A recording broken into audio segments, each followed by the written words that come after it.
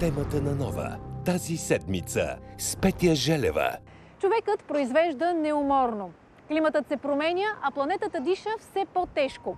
За да отговори на екологичните нужди, автомобилната индустрия превключва на различна скорост. По-чисти автомобили за по-зелена Европа амбициозно декларира Европейският съюз. А стъпките са малки, но значими. Да трансформираме старият си автомобил, вместо да купим нов, по-малко замърсяващ. Защо? Ретрофит отговаря.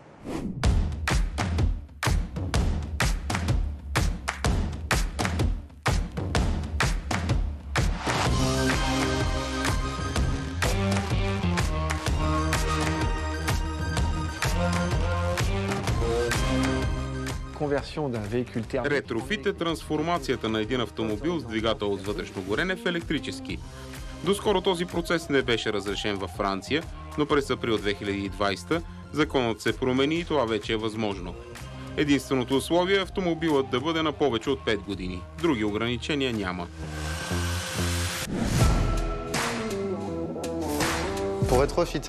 Отстраняваме двигателя с вътрешно горене и го заменяме с електрически.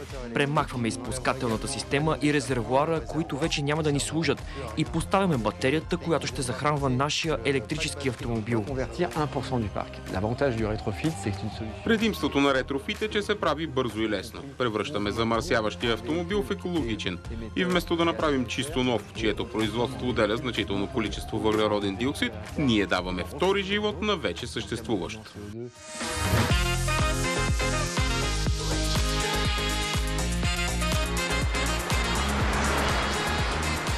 Намираме се в приказното френско градче Каси на брега на Средиземно море. Ще се повозим в миналото, буквално, но за да видим бъдещето. Зад волана на една от емблемите на френската история, която без съмнение познавате от филмите Луи Дюфенес. А днес ще превърнем в екологичен електромобил. Бонжур!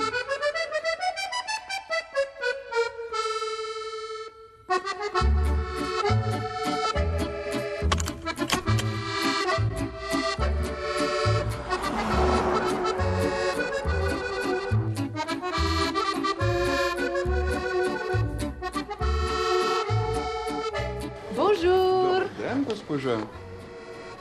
Комон са, добър ден. Ви говорите български, нали? Да не съм объркала адреса. Не, защото аз съм французин, но аз говоря български малко, много малко. Това сигурно е някаква шега. Французин А. в Каси, който говори на български. Е, защото аз обичам много, много е, България и в любов. Защото аз има ед- една приятелка много години преди. Винаги в сърцето на един чужденец, който говори български, е замесена една красива българка. Да, точно така. Много, много красиво. Много ми е приятно.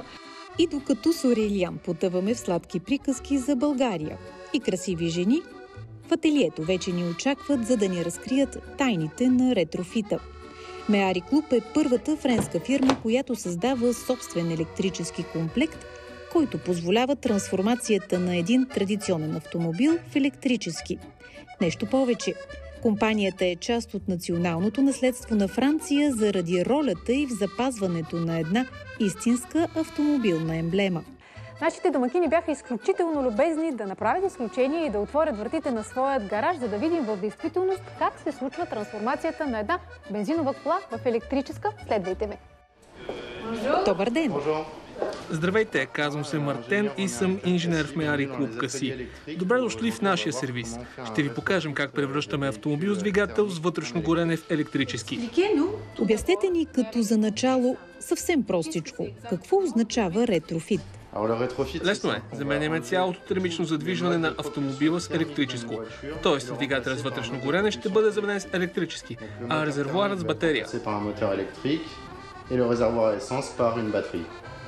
Можем ли да приложим ретрофит на всеки автомобил?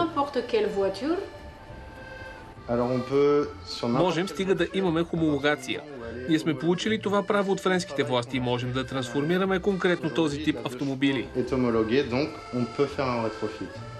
Предполагам, че това разрешително се взима трудно и струва скъпо.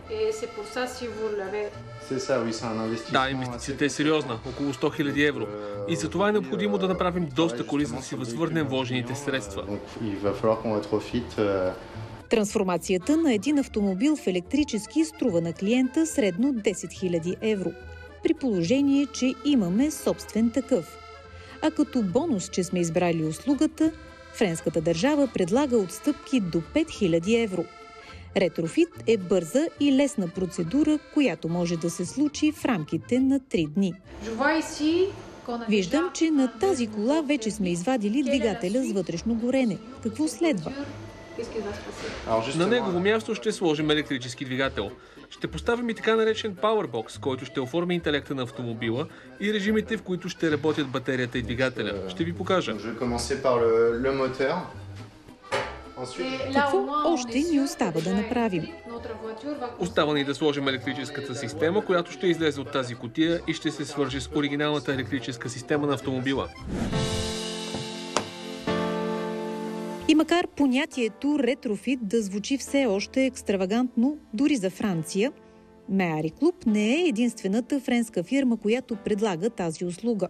С поглед към бъдещето и надеждите на новото поколение, все по-ангажирано по отношение на екологията, се отправяме към Гренобъл.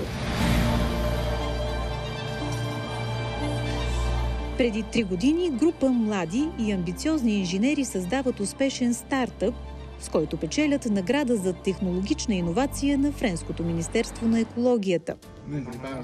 Целта ни е просто да създадем фирма, за да имаме такива. Искахме от работата ни да има конкретни ползи. Автомобилната индустрия не се е променила съществено през последните 100 години. Колите се произвеждат по един и същи начин и след това отиват по моргите, за да се правят нови. Това ни предизвика. Искахме да бъдем част от промените в тази индустрия, а моментът за действие е сега.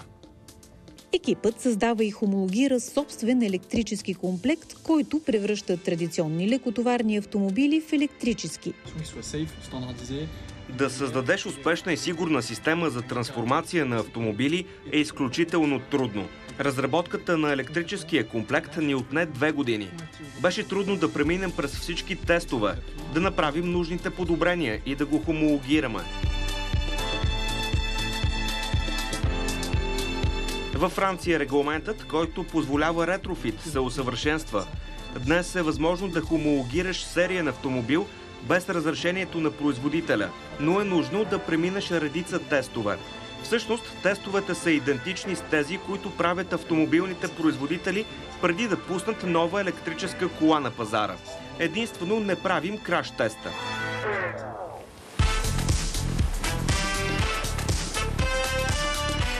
Но има ли винаги знак за равенство между електрическата кола и екологията? Макар последните изследвания да показват, че електромобилите са два пъти по-малко замърсяващи от стандартните, то тази максима следва да бъде аргументирана. При производството на една електрическа кола най-голямо замърсяване причинява изработването на батерията. Този процес изхвърля парникови газове в атмосферата още преди автомобилът да е стигнал до етапа, в който пести въглеродни емисии, защото не ползва гориво.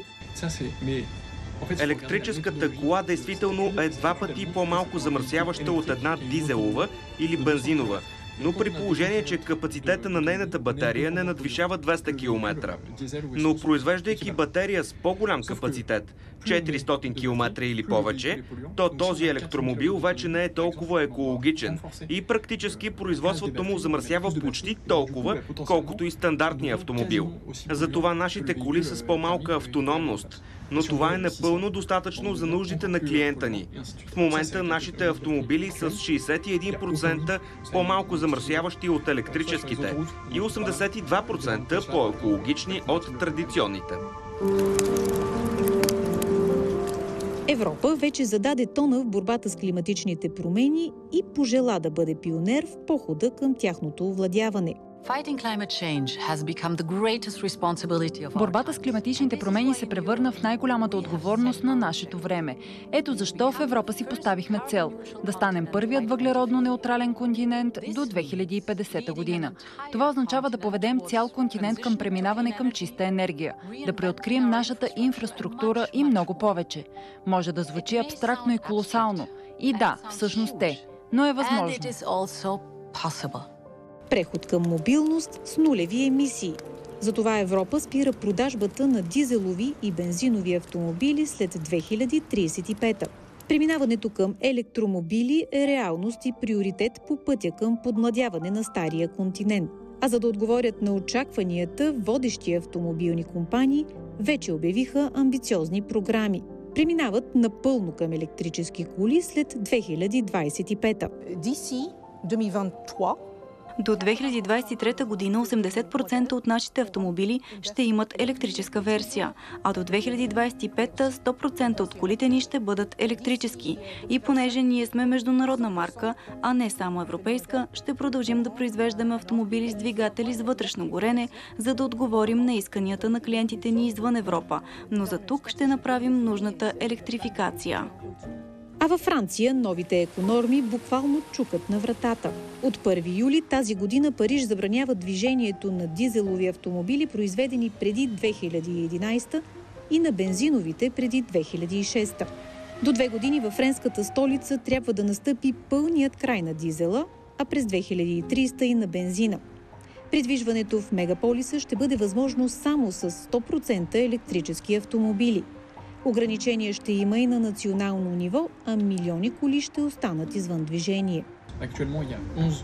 Към момента във Франция има 11 от така наречените зони с ниско замърсяване, а през 2025 година те ще станат 45.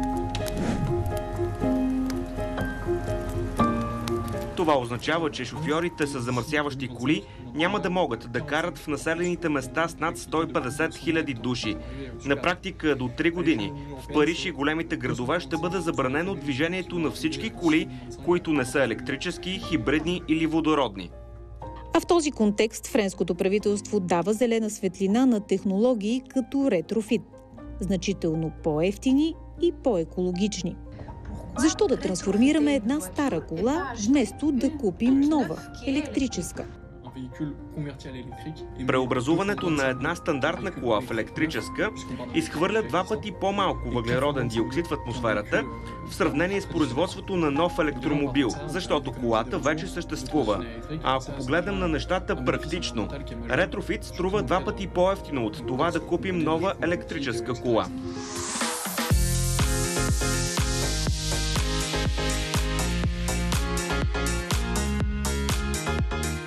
Видяхме как се трансформира една кола и ползите да го направим.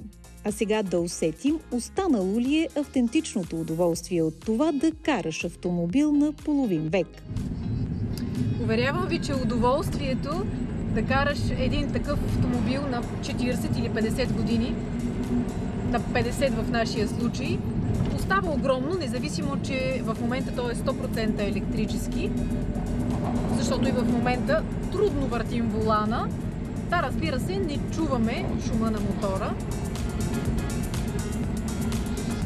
Но пък всичко останало е много идентично.